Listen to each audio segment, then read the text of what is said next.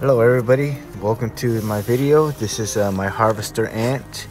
Don't ask me to pronounce the actual genus name. I am bad at that stuff. But I caught this queen June 5th, local park down here in South Texas. Just a little backstory. Me and my brothers grew up down here and um, you know, we grew up before YouTube and we had to be outside. That was entertainment. TV, I mean, we had TV, but trust me, it was nothing like today. Um, so I ain't gonna say what we are doing with them, but let's just say I feel bad and now I want them to live. After about a month of being impatient, I decided to go ahead and boost her.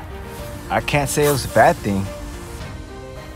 Now she accepted the larva immediately. I mean, she didn't even think about it. She just grabbed them, put them on top of her eggs, and just grabbed them one by one because I had to toss them in there one at a time.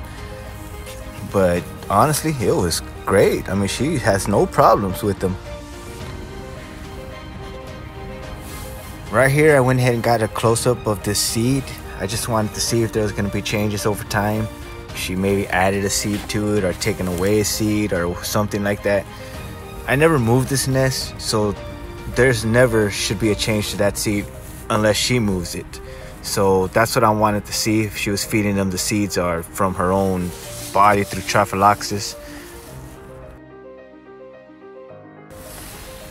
At this moment, if I say any terms that are wrong or anything like that, forgive me. I don't really know about the terms.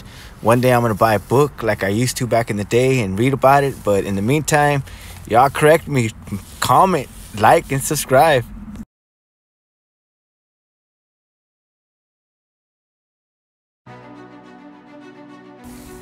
Now at first I'll admit I didn't really know what she was doing. Went ahead and checked the water level. But then right as you can see, that's what she was doing.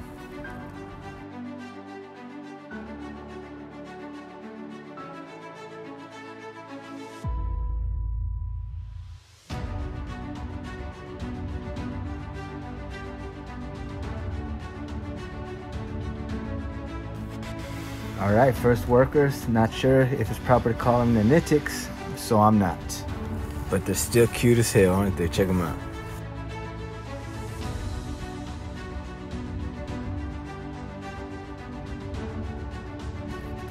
So here we got the true nanitics side by side to their kidnapped sisters. It's amazing how much of a size difference there is. I don't condone kidnapping in any form, shape, or manner except for an ant.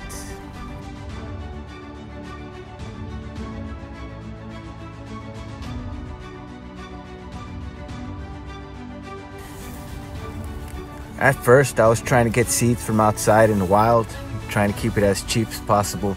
But in the end, it's just better to buy bird seeds or maybe order some seeds online. But tell you the truth, bird seeds from any grocery store work just fine. Just make sure to change them out every now and then. I have noticed that they don't like the old seeds. I guess they can tell if they get the seeds stale or something like that. But yeah, you gotta change them out. These boosted workers, they come from three different colonies outside of my house. Um, I, I have a lot of space outside and these colonies, they're actually really old colonies. I wanted to make sure that she had some of the most maturest um, workers that she can possibly get. I knew that that would make a difference for her just so her, you know, her brood can have a good chance.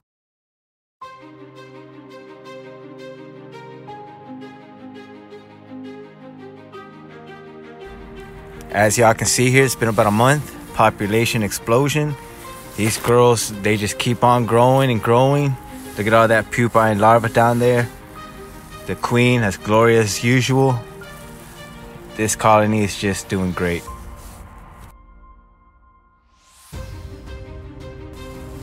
As far as feeding and cleaning, it's a breeze. Um, the feeding, just throwing a bunch of seeds. I give them insects every now and then, but maybe like once a month so far. It has not been many at all. In fact, it was like three months before I, they had any type of flesh. Um, so straight up, they don't need no flesh at all. They'll be fine with seeds. But I heard that it helps them with their growth, so I gave them a little bit every now and then. Other than that, just make sure they got their water because you know nothing lives without water I also got a heat cable running across the side of their um, their mini hearth Um, it's 24 hours, and I don't know what kind of difference it makes or not because I've never done it without it. But here's here's what I got, so y'all can take this for an example.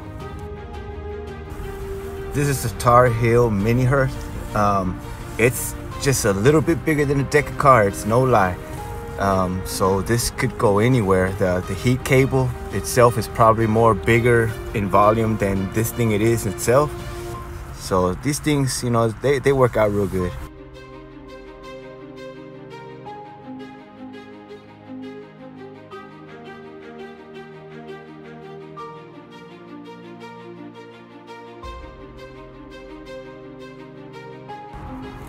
It's been a few weeks since that last clip and as you can see they're still growing. The the larvae now they're looking big compared to that last uh, clip.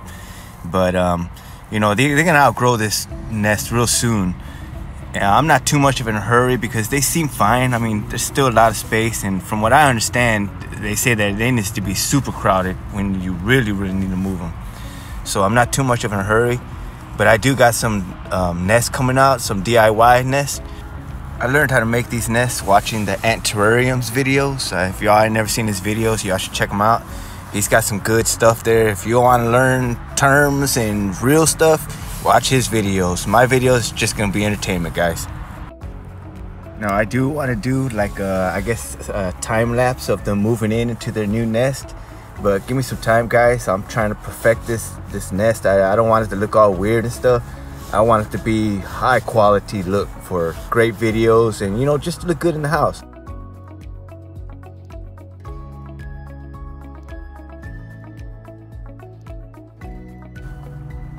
Alright everybody, it's your boyfriend down south. If y'all like what you saw right here, go ahead and give it a like, um, give a comment, subscribe, and all that good stuff. And I'll make some more videos. I got some panther ants, some big old giant black ants. They're awesome. I also got some honey pots, but I'm gonna try to keep this to ants that I catch locally. But I mean, you know how it is. It's all about the subscriptions, the likes, and all that jiff. I think I don't know. I never done a YouTube channel, but I'm hoping to get into it. Straight up, y'all. These videos, I didn't make them make a YouTube video. I made them for myself. I travel a lot, so I like to film my videos. And when I'm out of town, I could just be watching these videos. It's pretty relaxing for me. I don't know about y'all. It's y'all's boy from down south, keeping it real. Peace out.